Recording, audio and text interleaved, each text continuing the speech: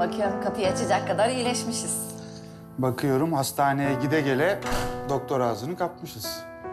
Kafamı kızdırma istersen. Yoksa sana yemek falan vermem. Ne? Sen buna yemek mi diyorsun? Hani bir mercimek yemeği, bir çorba falan olsa anlayacağım da. O annemin evinde. Benden bu kadar. Güzel taktik, akıllıca. Yani beni annenle tanıştırmak için çok akıllıca. Bak böyle gıcıklık yaptığın için evde tek başına duruyorsun. Bari beni kızdırma. Başka kimsen kalmadı malum. Aa Işıkçım ben sana bunu bir türlü anlatamıyorum ama... ...yani bu evde yalnız kalmamın sebebi benim öyle istemem. Tabii tabii, tabii. Ya vallahi demin Emre ile Burcu buradalardı zorla gönderdim. Yani insan biraz yalnızlık istiyor ki... ...hani şu kafamdan giden şey beraberinde neler götürdü onu da anlayayım değil mi?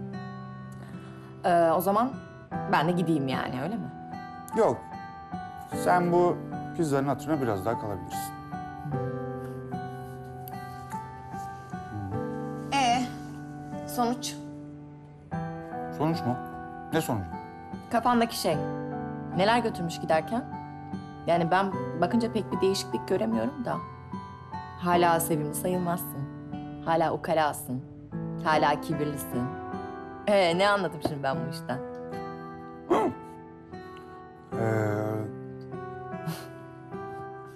bu kadar.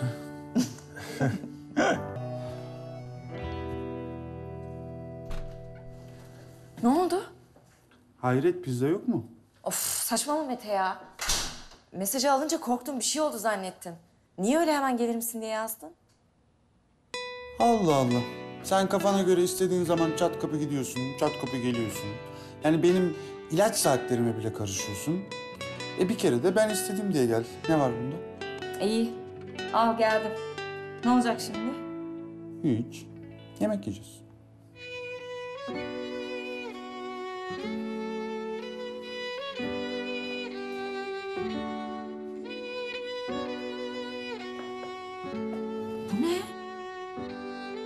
Bu...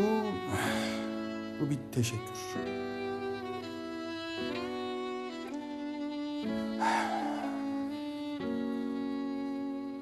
Ben...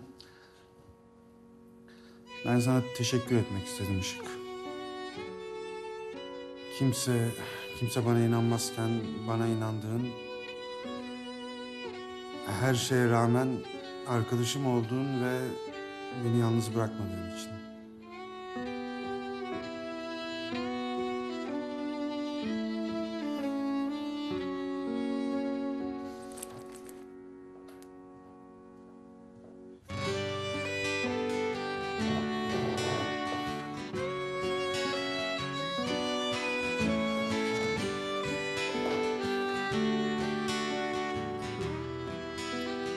Ne oldu hiçbir şey söylemiyorsun?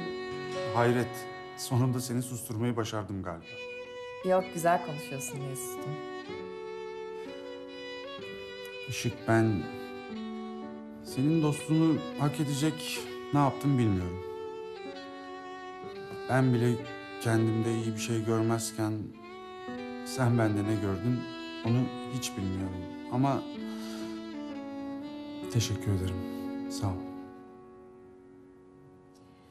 Onu ben de bilmiyorum. Ama şu halinden iyiydi yani. E, Bu ne? Ağlak haller sana hiç uymuyor. Ayrıca diğer haline uğraşmak çok daha kolaydı. Ee, vallahi çok üzgünüm ama artık bu Mete'ye alışmak zorundasın.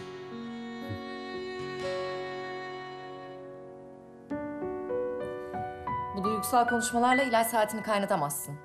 Haberin olsun. Tabii ki. Buyurun hanımefendi.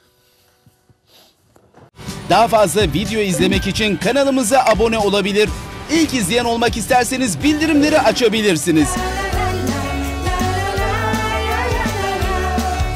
Hayat, gel şaşırt bugün